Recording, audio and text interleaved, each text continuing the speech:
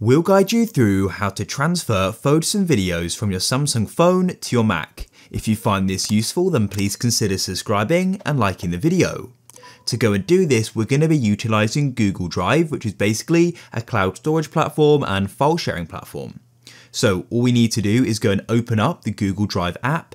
You probably have it on your phone already. If you don't you can always download it from the Play Store. Then all you need to do is you want to make sure you note the Google account you're currently using as we'll need to use the same one on our computer. I'll guide you through that. Then go to the bottom right and click on Files and go and click on New and go and create folder. And I'm just going to go and name this Samsung. This just helps keeps all of our photos and videos together and you can then go and click on it. Then click on New in the bottom right and click on Upload. And at the top here, you can go and select Gallery.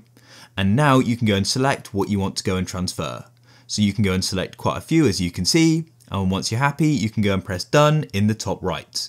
They'll then go and start downloading and you can go and wait. Now that they've finished, we can now go onto our Mac. On your Mac, go and open up a web browser. I'll just go and use Chrome, but you could use Safari. And then all you want to do is go and search for Drive or Google Drive and go to this Drive website. Now here we are on Drive, so if you need to sign in, make sure you sign into the same account as you were on your Samsung phone, or if you need to switch account, you can do this in the top right and you can sign in up there as well. So click on that icon.